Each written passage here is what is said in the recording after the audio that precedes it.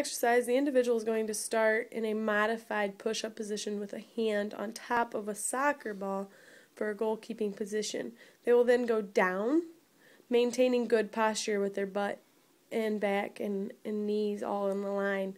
They will then rotate the ball over to their other hand and perform the same exercise over and over again, alternating the ball hand to hand. Once the individual has mastered this skill, they will then go to both hands on the ball in a push up position, maintaining the W form when on the ball. This, all, this does not only work the upper body and core, but also the finger and gripping strength in the hands during this exercise. Once the individual has mastered this part of the exercise, they then go to one side of the ball, perform a down push up, and explode up and over the ball.